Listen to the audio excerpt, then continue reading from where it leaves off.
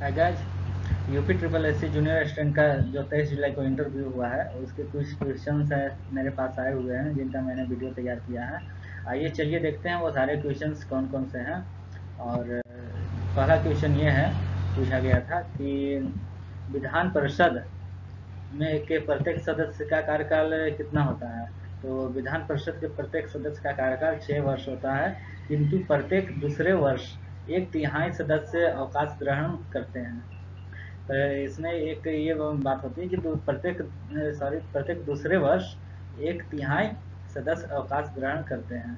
और इसके बाद जो क्वेश्चन पूछा गया है, वो विधानसभा में निर्वाचित होने की आयु सीमा क्या होनी चाहिए?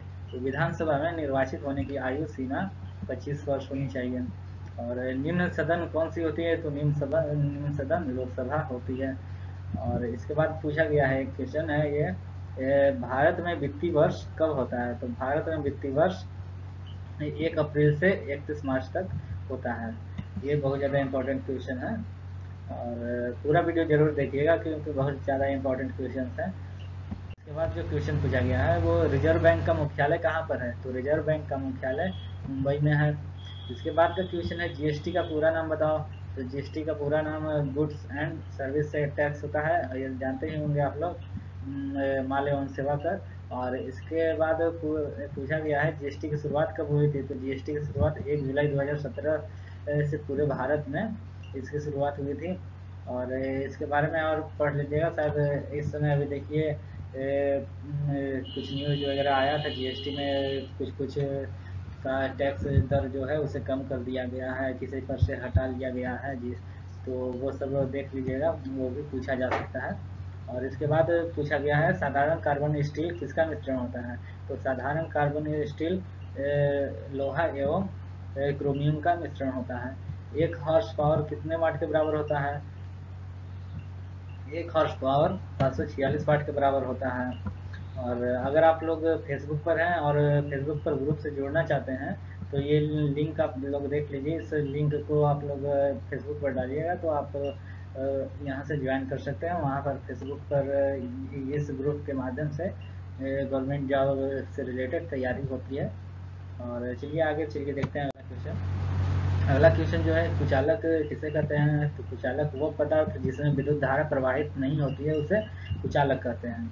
जैसे लकड़ी हो गया, अभरक हो गया, इन ये सब कुचालक होते हैं, क्योंकि इसमें करंट फ्लो नहीं होती है। और इसके बाद जो क्वेश्चन पूछा गया है, वो भारत की सबसे मीठे पानी की झील कौन सी है?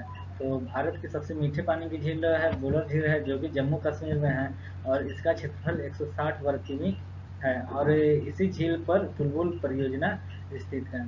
और मैं एक रिक्वेस्ट करता हूँ, जिन लोगों का इंटरव्यू हो गया है, वो लोग अपने कुछ क्वेश्चंस मेरे साथ शेयर कर सकते हैं, क्योंकि इस समय बहुत ही कम क्वेश्चंस मुझे मिल पा रहे हैं।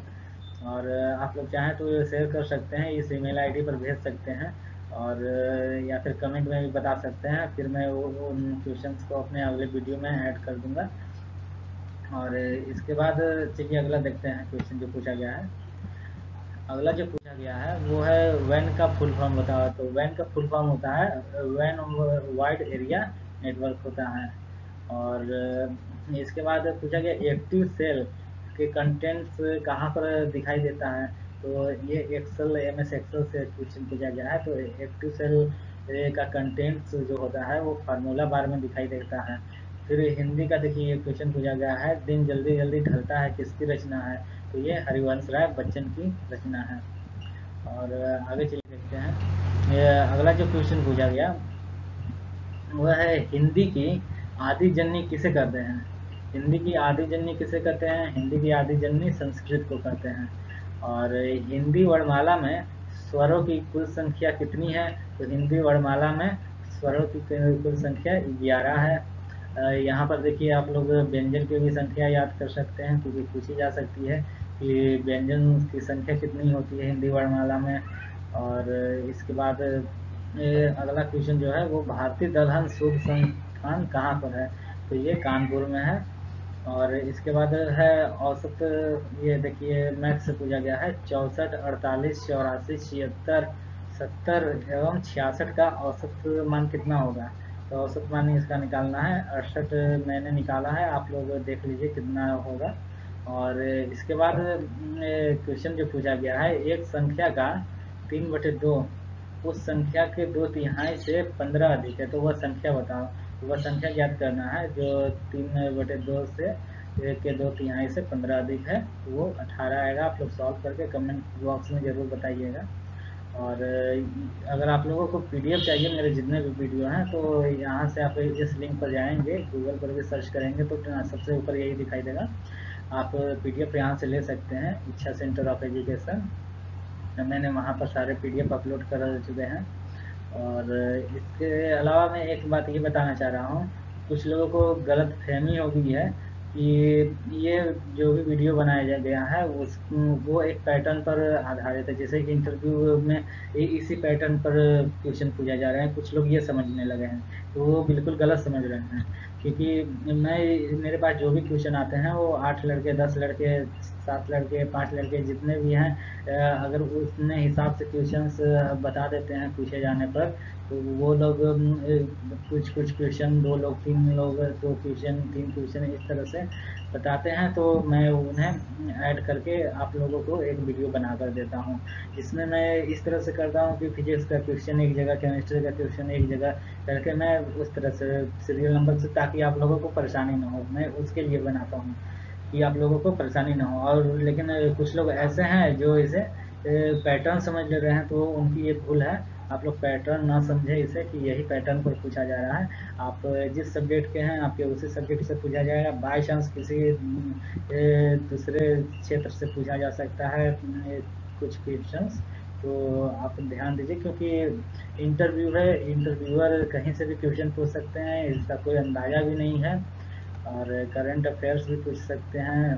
तो हर तरह से आप लोग तैयार रहिए और किसी दूसरे को दोषी मत ठहराइए, क्योंकि कमेंट बॉक्स में बहुत गलत गलत बातें बोली जा रही हैं तो वैसा काम मत कीजिए आप लोग। आइए चलिए देखते हैं। अगला क्वेश्चन है, ये देखिए बहुत ज़्यादा इम्पोर्टेंट बात यह है कि जो लोग ये वीडियो पहली बार देख रहे हैं, वो लोग मेरे चैनल को सब्सक्राइब करना ना भूलें, क्योंकि मैं जो भी वीडियो डालूँगा, वो आप तक आसानी से पहुँच जाएँगे। और ये वो लिंक है, यहाँ से आप डायरेक्ट मेरे वीडियो पर पहुँच सकते हैं सेल्फ गाइड स्टडी सेंटर और अगर आपको मेरा ये वीडियो पसंद आया हो तो इसे लाइक ज़रूर करें और अपने दोस्तों के साथ भी शेयर करें, ताकि उन लोगों का भी भला हो सके। और सब्सक्राइब ज़रूर करें सब्सक्राइब करना भूलें ना। और धन्यवाद।